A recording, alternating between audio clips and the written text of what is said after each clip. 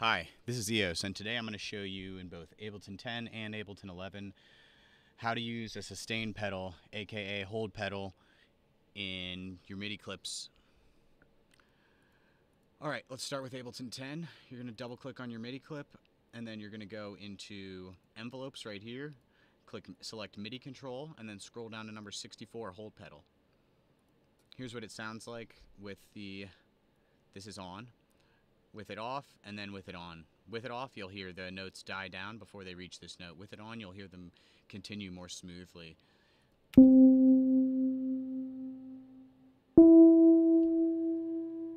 Dead.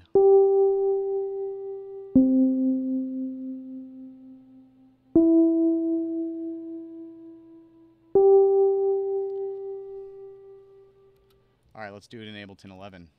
Double click on your MIDI clip, go to envelopes by selecting this tab. Then again, go to MIDI control and scroll down to number 64, hold pedal. Here's what it sounds like off, and then here's what it sounds like on.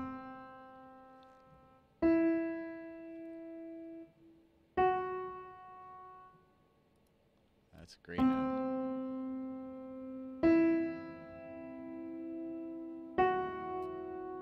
Much better. Well, hope that was helpful.